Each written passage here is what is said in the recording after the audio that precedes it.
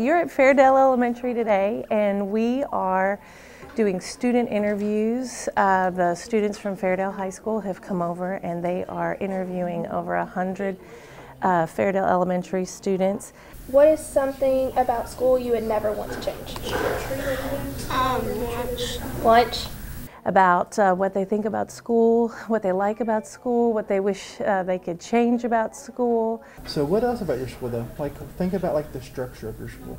the students are having to think about the responses that they're giving. These are not rote responses. This is not, hey, what's your favorite color? This is, how do you feel about uh, what's happening with you? Um, what do you enjoy about the lessons that you're learning? What was the greatest lesson that you've had? It's a good experience for me because I'm getting to work with students.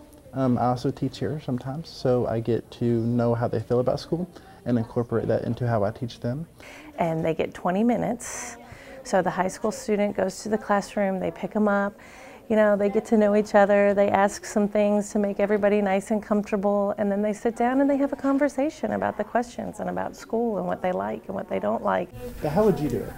I want them to learn that helping those, those bonds to grow, not just for the school itself, but also for themselves. These are students who are going to become teachers, and this is an opportunity for them to get another layer of what that feels like, you know, not just, hey, let me help you with this math problem, but this is also, what do you think, and how can I be instrumental in helping you to think more?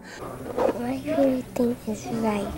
All the data is going right into Google Forms and putting it in a spreadsheet for us. lunch in the afternoon they do reading. They can look at the data and say, okay, look at this, look at these trends, look at what our kids really like here. So, what has been something in math that you learned that was really fun?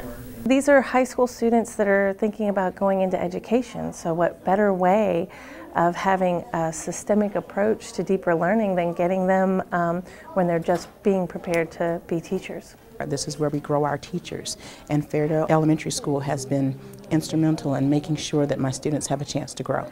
Sounds like a good idea, right?